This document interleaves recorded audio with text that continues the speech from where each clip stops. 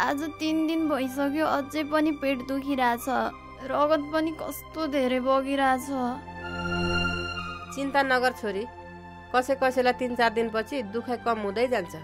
कसै कसैलाई छ सात दिनसम्म पेट पनि दुखिरहन्छ अनि रगत पनि बगिरहन्छ।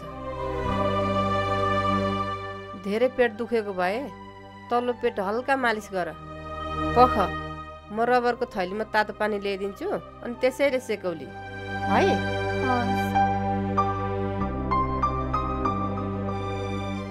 ल यसले सेक। अनि तातो पानी पनि खाऊ। अनि अहिले एकछिनमा म गेडागुडीको रस बनाइदिन्छु अनि त्यो पनि खाउली आहा गाउँघरमा पनि महिनावारी सम्बन्धी कति धेरै चेतना आइसकेछ नमस्कार स्वास्थ्य स्वयंसेविकाज्यू नमस्ते।